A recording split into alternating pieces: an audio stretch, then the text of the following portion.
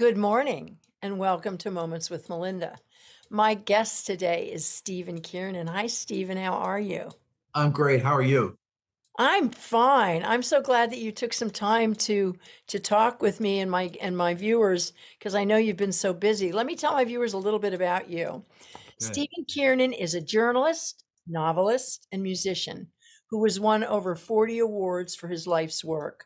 His latest novel, The Glass Chateau, is receiving rave reviews, and today we are going to talk to Stephen about his new book, and if we are lucky, he might strum on his 12 string guitar. Right? Okay, All right. I'm ready.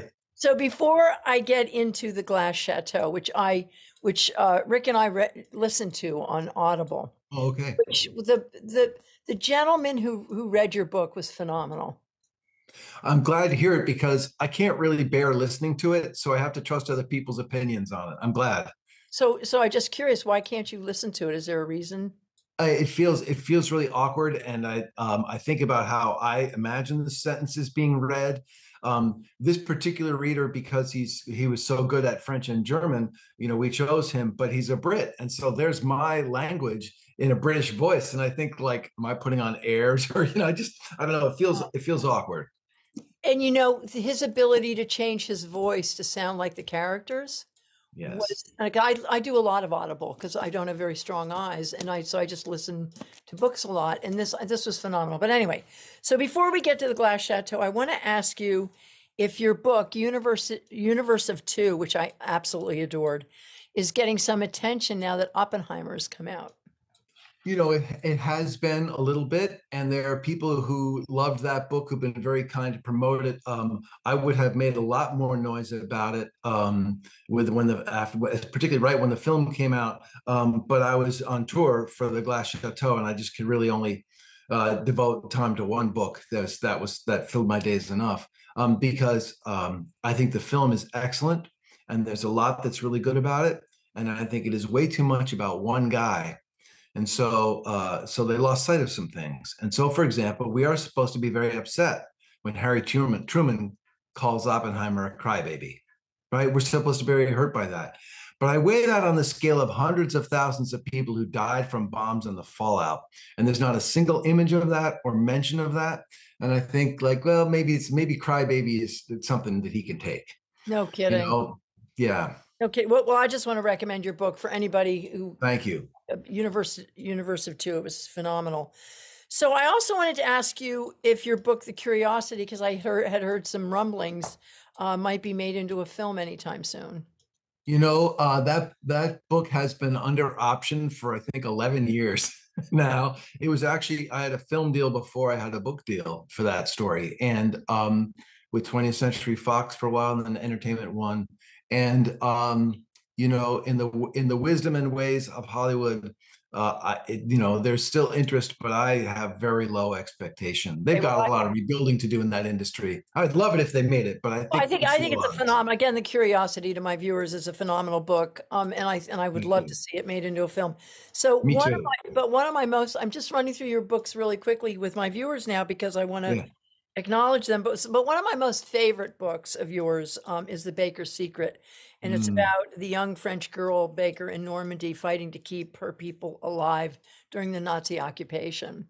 One of I just loved her character. I just thought she was phenomenal and so strong and beautiful, and so I love that book. Thank you. You know, if I may say, when when I usually when I finish a book, I feel like I'm pretty done with it. And Emma, the main character of that book, is still with me, and I miss her.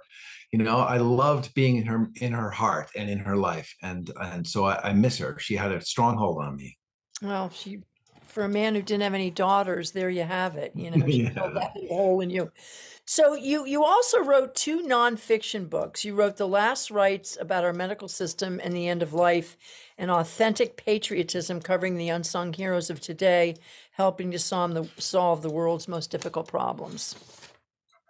Right? Yeah, you know, that was just that was sort of a bridge between my life and you know decades in newspapers and getting into the book business. And um, you know, Last Rites is just about how we should stop torturing people to get to death and we should love them up to their death.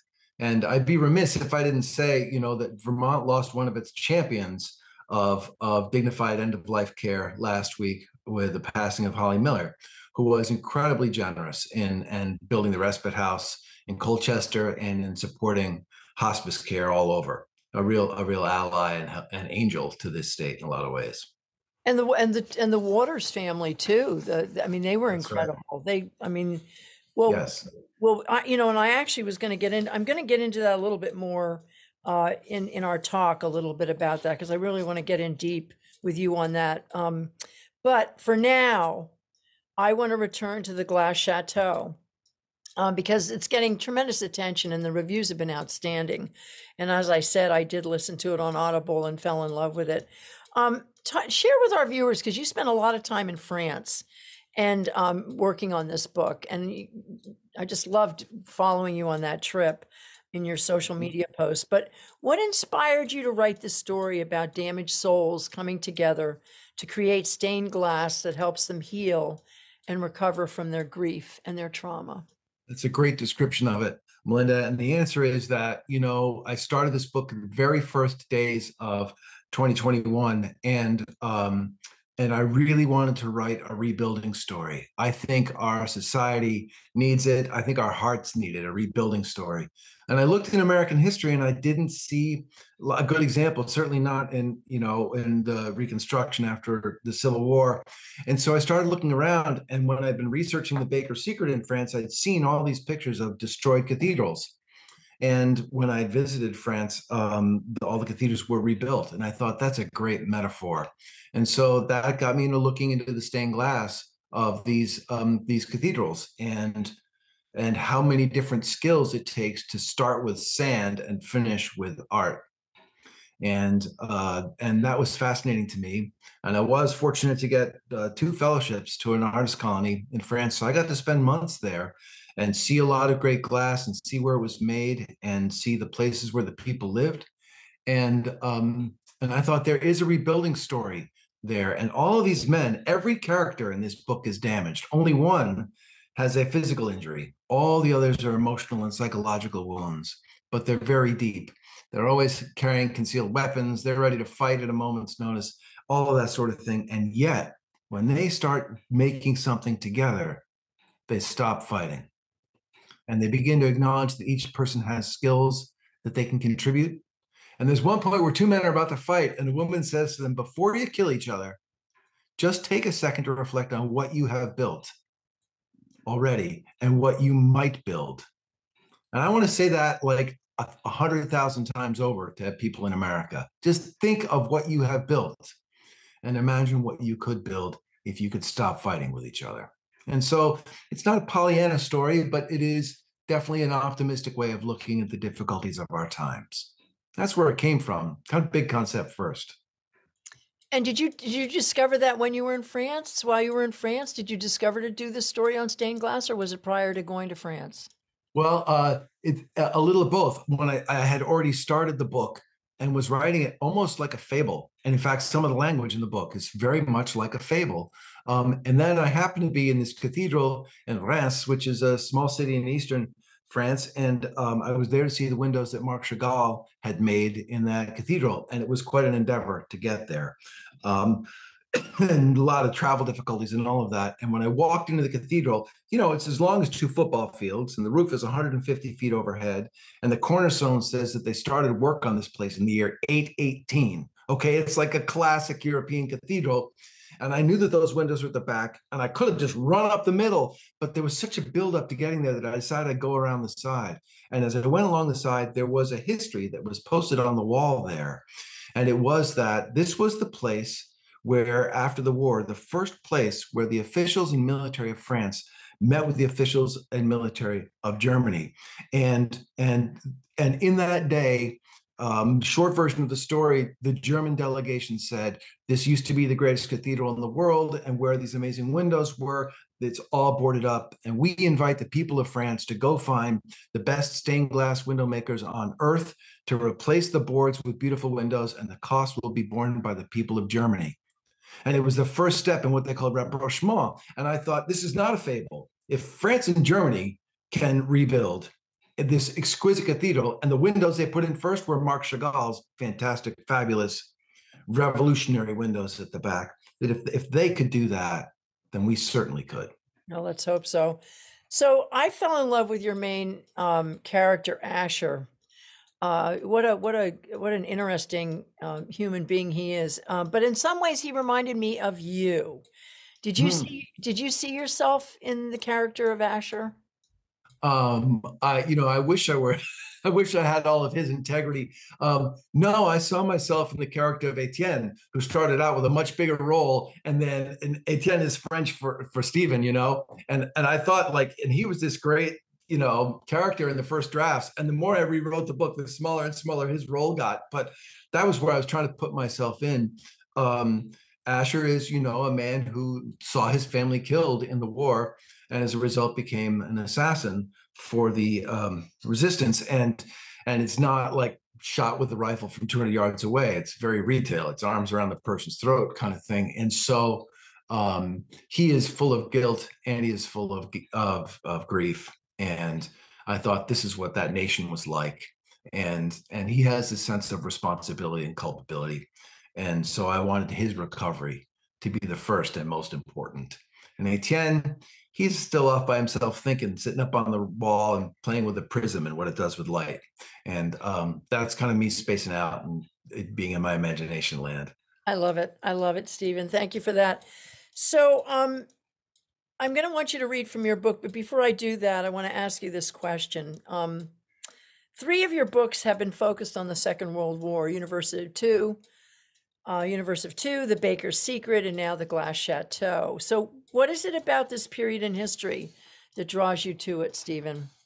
I yeah, I actually want to I want to shift that a little bit because my book, The Hummingbird, was about the Pacific Theater in World War II a little right. bit. And right, and what I thought is I wrote I wrote three books about the war: Pacific Theater, European Theater, and Home Front. And then and then I consider this book starts a month after the end of the war, so it's still echoing in people. Um, but I think it's an important time period. Um, and here's why. Let me contrast it with Hollywood. Since 9 11, Hollywood has had one essential narrative. Some super person with incredible moral fiber and incredible powers is going to rescue us from all the evils of the world. And while that has happened, there's been a whole literature of World War II. I didn't realize when I started writing this, but there are now many, many books about World War II, and there's no great hero. There's no great general or president or champion. It's very much the, the common man who's caught up in events that are way uh, or in the case of the baker secret common woman.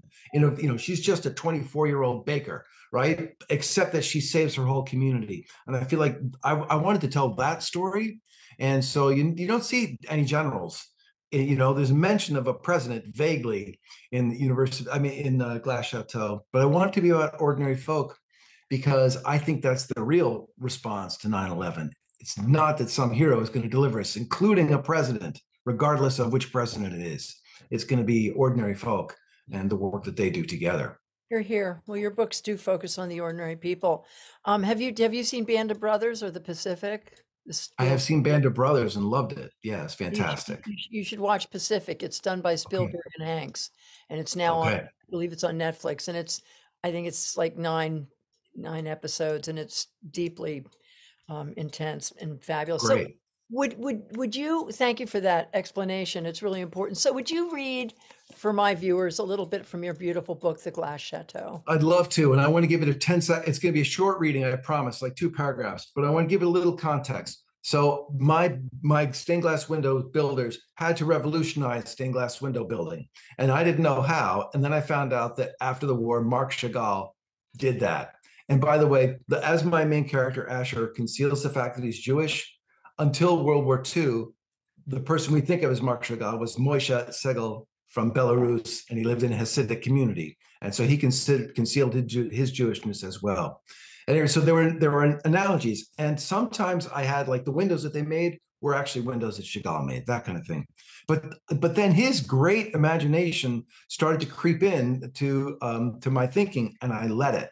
I let his imagination because he's such a genius, right? So here's a drawing that he did when he was 14, I believe. We don't have an exact date on it, but so you can see it's a very simple house. It's a man on the roof of the house, and you can see the woman's expression, what she thinks about the man being up on the house. Okay, you see that all right? So here's here that came up in a scene where Asher has just told a woman that he loves her, and she says, "Don't don't tell me that." because I know because of the war, I don't know anyone who today has what they loved yesterday.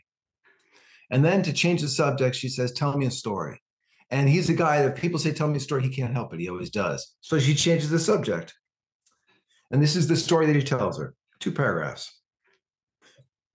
His, so his name is Asher, her name is Marie. It's one of my first memories, remembered as if in dim light when I was four or at most five years old. It was a sweltering day, the house stifling, everyone complaining. My grandfather took a bowl of carrots onto the roof to eat in the shade. Normally, he was as serious as a funeral, dressed all in black, strict about rules and religion. I was frightened of him, though I believe I loved him too, in the manner of a child. We heard his shoes overhead. He was having fun up there. I could hear him calling out to anyone passing by. I went outside and peered up at him from the walk. He waved and hallooed as if I were half a mile off. I can still see the old man's immense beard, pure white against his traditional garb. Asher was surprised at how amused he felt, what lightness there was in telling this memory to Marie. When he came back down, there were bits of orange in his beard. It was funny to me, side splitting, really. Tiny bits of carrot in the white. Of course, uh, of course, I, I tried to hide it, holding both hands over my mouth. I was afraid to say anything because it might consider, be considered criticism when it only meant to be helpful. So I held back behind the door. But my grandmother also had noticed. She went right over, stood in his way, and picked those bits out without comment, every one of them. Then she took the bowl and brushed him along on his way. What Asher did not tell Marie was that this was the love he wanted for his life, where affection was as ordinary as the air. Yeah. Beautiful, I- beautiful, beautiful. Thanks. story. Really Thanks. beautiful. This is a beautiful book. Really beautiful, Thanks. beautiful story. Thank you for that. Um, so would you would you like to entertain us um, with a with a little strumming of your 12 string guitar because you're such a beautiful musician? Well, written- let me try it. I don't know how it'll work with the camera and stuff. So give me a second, okay? Well, And I. I, I didn't grab the 12 string because I was hurrying because I've been on the phone with one of my sons right before this. So what I have is actually more interesting, maybe anyway. Um, this is a this is a different kind of guitar. First of all, it's a baritone. So like a regular E chord on a regular guitar tuning is this. But in this, it is because it's tuned a fifth lower. Okay, this is the lowest string. It's like a piano string. It's a, like a bass string. So it's a lot of work for the left hand. Um, and then the middle strings are paired. They're octaves. So this is an eight string baritone guitar. Okay. And I'll play a nice little, sh- pretty short piece.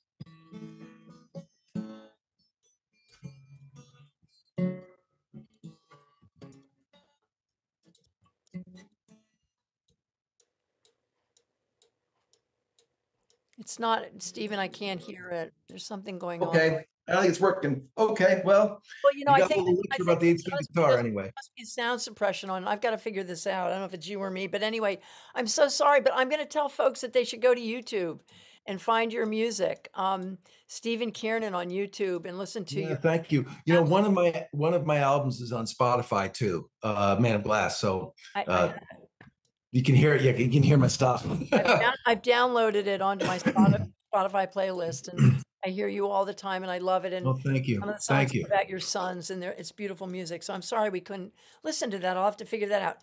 Now, Stephen, I want to move into um, to talk to you a little bit about the state of our world. Um, you have been deeply involved in trying to create a template for Vermont to sustain its way of life. Um, can you talk about this, Stephen, and what are the core tenets of a healthy democratic society? Well, it's interesting because I just this morning finished a piece I'm writing for uh, the Boston Globe about book banning in America and the tour that Lieutenant Governor Dave Zuckerman is doing around the state, engaging people in these issues. and it's been very interesting because, uh, you know, I went to one of them and, you know, everyone s- opposed book banning and believes that, you know, you should be able to choose what your kids read, but I should be able to choose what my kids read. You shouldn't choose for me. And um, that seems to be universal consensus. And yet, in at the Middlebury event, there was one there people were saying there shouldn't even be challenges to books because that that has its own kind of censoring effect. People don't buy books or put them on the shelf because they want to avoid controversy. And one woman spoke up and she had a very thick accent and she said, It is very important to have the power to challenge. I lived in a place where you were not permitted to challenge, and this is a very important thing. And I spoke with her afterwards, and she's a Russian professor at Middlebury College who grew up in the Soviet Union. And so, one of the things I believe is healthy in a democracy is challenging and some friction. And one of the things that uh, the book banning brings to mind is how we were not complacent about reproductive rights, but certainly not militant about them. And look, they've gone away, and it's going to take a generation to restore them, maybe longer. And so I think about like the book banning it's a conversation about who decides what our culture is, you know, and the fact that it's at libraries. I mean, compare a library with the real source of most of the filth that is out there right now and what kids are, can access without an adult curating what they read and see. And um, and they are seeing it. So I think that, that that some of that friction is a healthy thing, especially if it keeps us awake you know, I think we can predict how this presidential election is going to shape up. And I think that the outcome is going to really depend on how much people are paying attention and not feeling uh, and, and seeing the friction and being part of the friction. And um, the other thing is, you know, we really need in in Congress, including the Vermont delegation, we need people who have been in positions of power for a long time to move on Look at the love that has been poured on Patrick Leahy, completely deserved, right? And I can understand him wanting to stay as the majority leader or the uh, the appropriations leader during a Trump presidency. I understand it. But there is there is a great line in JFK's inauguration address where he said the torch has been passed to a new generation. That needs to happen. It needs to happen because you can't have a, a Senate Commerce Committee holding a hearing with Mark Zuckerman and say to him, What is a Facebook? You can't have that. You can't have people who are too old and enfeebled to do the job. And I say that not out of disrespect for elderly people, but I think like it will be a healthier thing for our country when we have a different kind of energy, a different sensibility. And I'm eager for it. And as I say, God bless the people who serve Vermont and Washington, but it includes our delegation.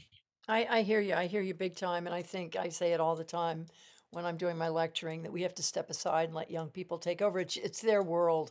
It's not ours. We're moving on. And thank you, thank you for that wisdom. Can I add one other thing, Melinda? Do I have two, two seconds I have one other thing? You have you have all the time in the world. Okay, well, I I think that you look at the life that you have had and the influence that you've had without being elected.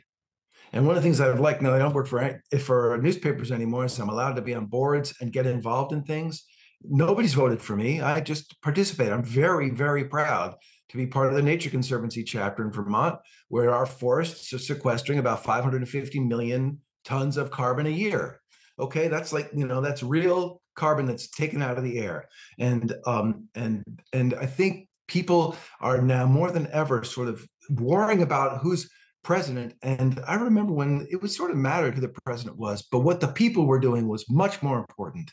And I think that volunteerism and philanthropy in Vermont could be much, much stronger, particularly philanthropy. We give much less than the national average per capita to philanthropies, even though we have this great nonprofit community. So I'm just a big fan of people taking matters into their own hands and solving problems without waiting for the government to do it.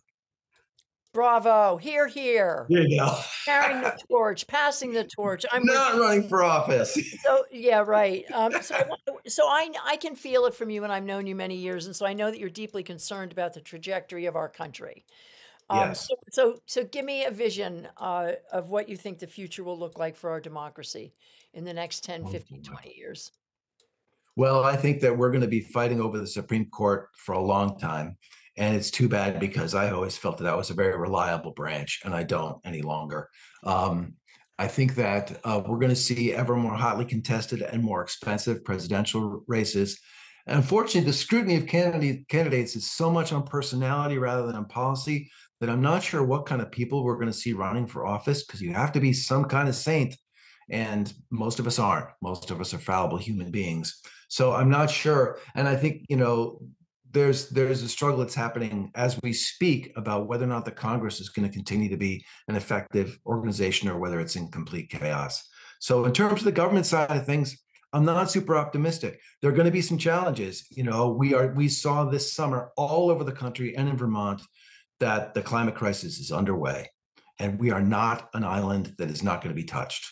Uh, you know, I was on the book tour and I came home one Sunday, and not only could I not breathe the air, I have a condition where I can't be exercising in the bad air, but all the beaches on the Vermont side of Lake Champlain were closed. It's like, are we not paying? And you know, and a week later we had floods that did so much damage. And and uh, you know, so we have to be awakened to that too. And I think there are going to be things like that, and people moving to Vermont to avoid the worst of climate. And I think that's a huge macro challenge that we have not begun to reckon with. There's a, there's a lot of challenges. And the question is whether or not individuals will turn off the TV and join something and become part of it. And all the data, this is my second book, Authentic Patriotism. All the data says over and over and over people who are involved in any kind of philanthropic or nonprofit effort are the most optimistic. Even if they're fighting the toughest, toughest problems, they're part of the solution. And um, that's what I hope. That's what I hope. I hope we have a wave of that. Here, here. Thank you, Stephen. Um, so I want, I want to talk to you about. I mean, you were a newspaper man, and you garnered many awards for your work. Um, are you concerned about the future of a free press in this country? Yes. You know, I got a long email, long email on Saturday. I'm a subscriber to the Burlington Free Press and have been since 1990 and um, and I got a long email from the executive editor saying that they were reorganizing the cartoons, and, um, and it was going to be all these different cartoons, and they listed all the ones, and you had to be paying attention to realize that they are no longer running Doonesbury, yeah. that the Free Press is no longer no longer running it because Gannett is no longer running the only comic in the newspaper that has won the Pulitzer Prize. That's the one they're going to stop. And I think that there's a kind of editorial cowardice behind it. And I've been making a nuisance of myself with uh, with uh, Gannett people who are willing to answer my emails. Um, I worry very much about that. And I know that there are community newspapers where people are doing heroic work for almost no money and they ought to get more support. I think we're seeing um, the kind of very well funded and powerful media organizations, in my view, insufficiently acting with their mandate you know, the Vermont public has got like $65 million in the bank, and I want to see it and I want to hear it. I don't want it sitting in the bank. I know it's easy for me to say, but if I was on that board, I'd be a pain in the neck because there's so many. What can we not come up with the money to keep people out of keep the kid provide people? Look at me, I'm stuttering about it. You kick people out of hotels, and guess what? You're going to have a lot of people who are homeless walking on Church Street and gathering in City Hall Park because they are unhoused.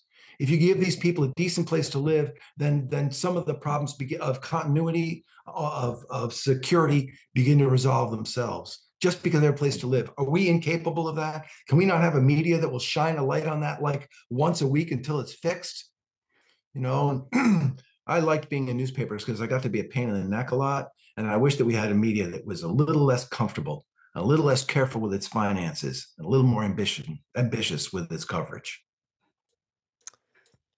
Thank you for How's that. that for speaking my mind? Wow. Um, amazing, amazing. Uh, I just wrote a commentary for. Look at my hair. It's just. It's. I'm. It's. I think you did. You know, I got mine cut for you, Melinda. It was all My- ratty. My head, my head is exploding. My God, Stephen.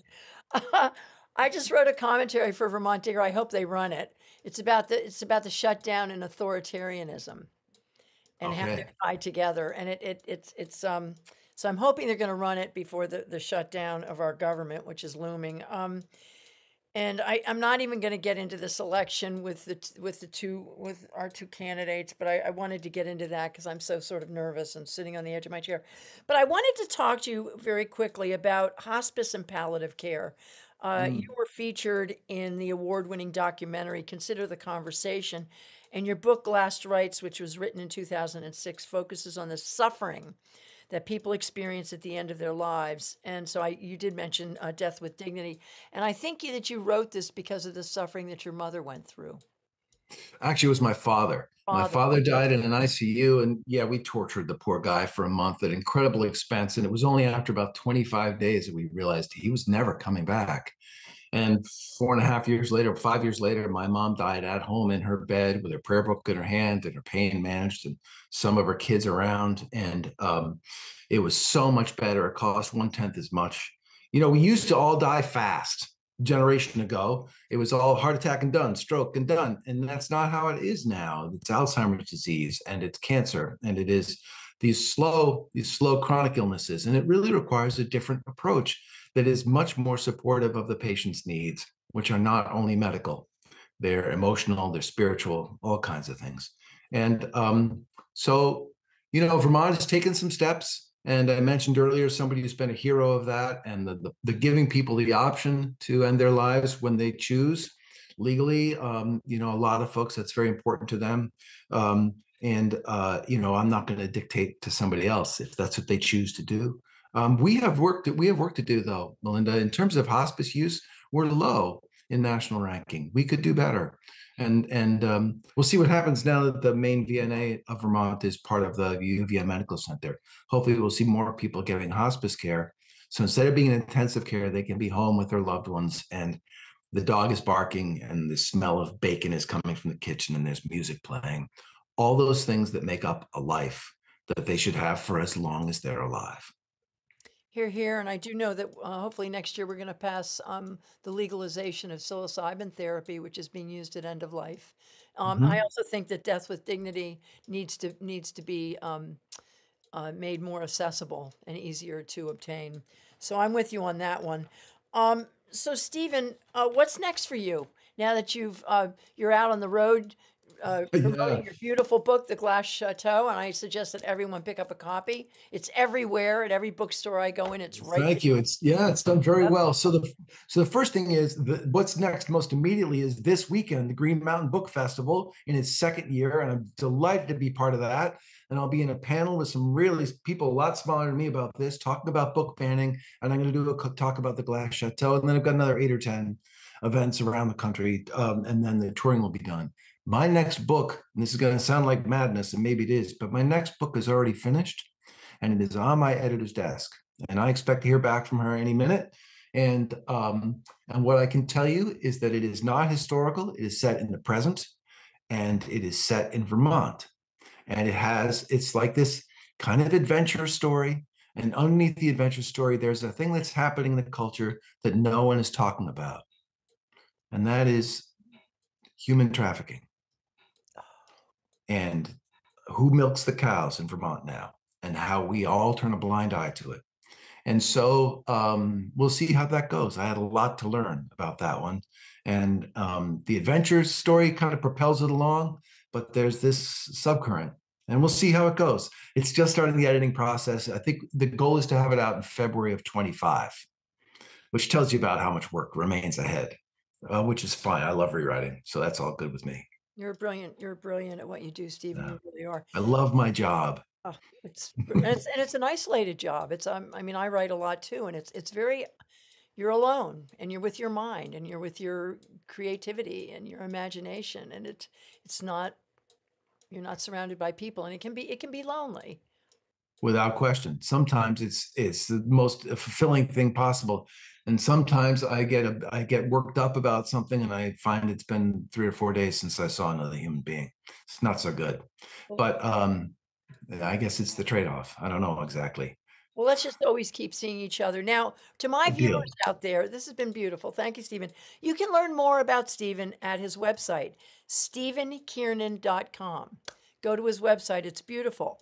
Um, so thank you, my dear, wonderful, brilliant friend, for god bless you melinda. And i, lo- um, I love you and i'm delighted to be with you sweetheart, thank you so much. And to my viewers, I will see you soon. Goodbye.